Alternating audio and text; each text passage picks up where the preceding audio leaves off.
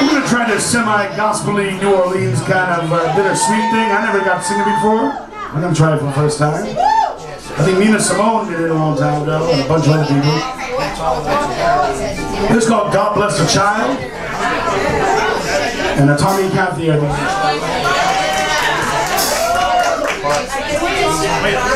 Yeah.